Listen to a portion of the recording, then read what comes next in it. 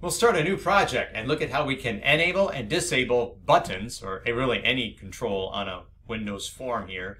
I'm going to change the name of this form to reflect what's going to happen. Again, enabling and disabling buttons, and we're going to also look at some border styles and things we can do with labels and buttons. So there's more coming as well. We're going to need three buttons to get us going. So I'm going to make this form a little bigger and then go over to the toolbox and grab three buttons. I'll just double click on button three times. One, two, three, and I've got three buttons. I'll space them out a little bit, but I want to show you how we can change the properties of all three buttons at the same time. So I'm going to use control and left click to highlight multiple objects at the same time. So I've got all three of these buttons selected now by control and left click on a mouse or whatever you need to use on your touchpad. And there's a bunch of properties we can change. If I change the size of one, I'm changing the size of all of them.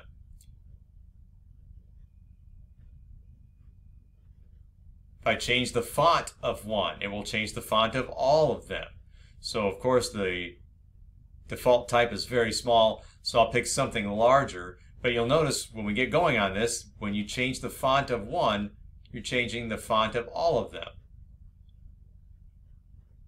There, all three got changed. As long as all three things are selected, any of those properties on the right you can be accessed and you can change it for all three. You can click away from these buttons, like I'm going to click left click on the form and that unselected them. And you can also maybe hit escape once or twice and that will release so you're not highlighting or selecting all the buttons. I'm going to rearrange them slightly now and then I'll click once on button 1 and I'm going to give this a new name BTN Enable E-N-A-B-L-E with a capital E and the text of this will indicate that we're going to enable the green button. I'm going to make button 2 a green button. You can make it whatever color you want or whatever special thing you want it to be. But I'm going to have the text of this button say that the green, we're going to enable the green button. And that's going to eventually be button 2. I'll go down to button 3 and I will change its name to BTN Disable with a capital D. And this will disable the green button. And that's what the text will indicate. Again, you can use a different color when we get to button 2. Just have that planned right now. Well, we need to put access keys in front of these. So I'm going to put an ampersand in front of the D so it can be accessed with Alt D and I'll put an ampersand in front of the E for BTN enable, the text of that one, so it can be accessed with Alt E. Now let's go to what's going to be the green button. I'll call it BTN green. If you're using a different color, you might go with that. And I'll change its text property to indicate that this is the green button.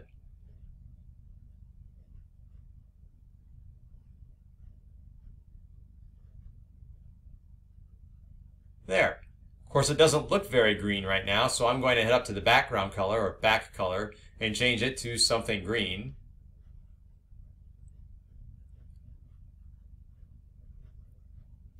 And now it's pretty hard to see a dark foreground color on a dark background color, so I'll go make the foreground color lighter since the button is so dark.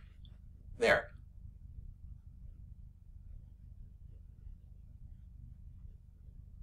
Now, if we run the program, we can still access all the buttons. They're all enabled right now. They can all be clicked. We haven't written any code yet, so nothing happens, but they're all currently enabled. But when the program starts, we want the green button to be not enabled or disabled. So we're going to go to the property called enabled, and it's either true or false. There is no disabled property. Enabled is either true or false, and we'll make it false at the very start. I'm going to go down to the toolbox and get a label that's going to display the status of the green button. So I'll double click on the label and I'll drag it over here to the right hand side of the form. Right now it's very small and I want to adjust the auto size property so I'll make it false. Make the label a lot larger and then, of course, I'm going to need to make the font a lot larger as well. I will change the name of this label. I'll call it LBL status with a capital S. You can call it whatever you like, maybe LBL display, whatever you think makes sense. Got to make this a lot easier to read. So I'll pick something that makes it easier to read with a bigger font size. And I'm going to align this text in the middle of the label. So I'll go to text align. Currently it's anchored to the top left. I'm going to anchor it into the middle center. And I'll save all. I haven't done that lately. And I'll change this text to indicate at the start of the program that the green button is not enabled. Or you could say it is disabled. They mean the same thing. But remember, the only property we really have is the enabled property, which is either true or false. So when we run the program, you'll notice that the green button is kind of darkened out because you, can't do anything with it. It's disabled. So it's not enabled. We're going to need to write some code that will allow it to be enabled. So I'll double click on BTN enable and we'll write some code that will actually enable the green button. So it is the green button that we want to affect. So we'll go with btn green dot enabled. That's the property we want to change and set it equal to true. And remember a semicolon. And we're going to update the status that's in that label and let the users know that now the green button has been enabled. So LBL status equals, and in quotation marks, something about the green button being enabled. Remember to put a semicolon at the end of this line. Let's run the program and watch what happens when we click the Enable button. Hey, the green button is now enabled and the text of the label changed to let the users know the green button is enabled. Now you pause the video and see if you can code the BTN disable click event. Look at what we did to enable the button and see if you can write the code that's going to allow users to disable the green button when they click on the button that says it's going to disable the green button.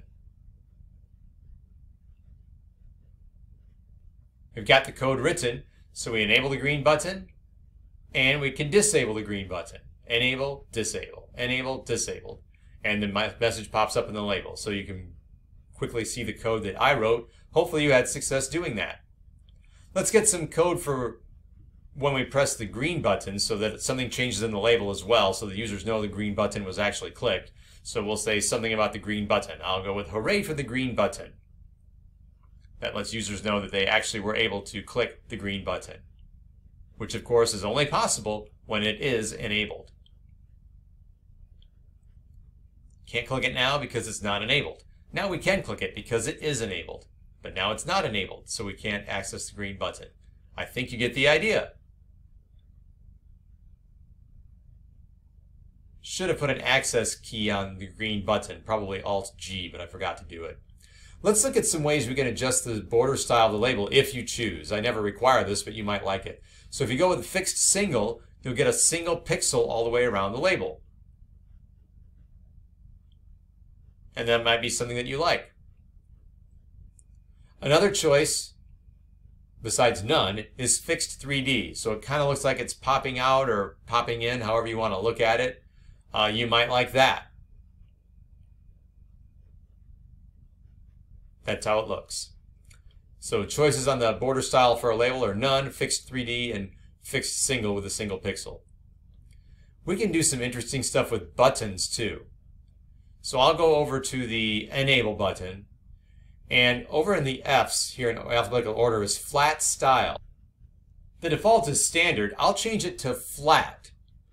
So look what happens when we run the program now. You can see it there in the design a little bit. It now has a border around it. It's actually one pixel thick. Uh, right now it's black. Now we click on flat appearance and we can change the border color. So you can get a different color if you like. I'll go with that something along the lines of purple and pink there or fuchsia and you can see one pixel around, it's got that border. Just underneath that in flat appearance is border size. So we can make it thicker. I'll go with four. Now it's four pixels thick all the way around. Maybe that's what you want. Drag this over a little bit so it stays inside what you can see. Underneath that are two more things. Mouse down back color and mouse over back color. Mouse over is when the mouse is over it, what happens to the background of the button. So I'll pick a lighter shade of pink there. And then when the mouse hovers over that button, you see that it changes colors in the background. And then one more thing we can change is mouse down background color. When the user clicks, left click especially on the mouse, what happens if the mouse is over the button? So there it is. You see the aqua show up. Mouse down is the aqua. So those are all things you can do for fun. Maybe you want to do that with some of the buttons you have. Remember, you have to change the flat style to flat in order for any of the flat appearance things to work.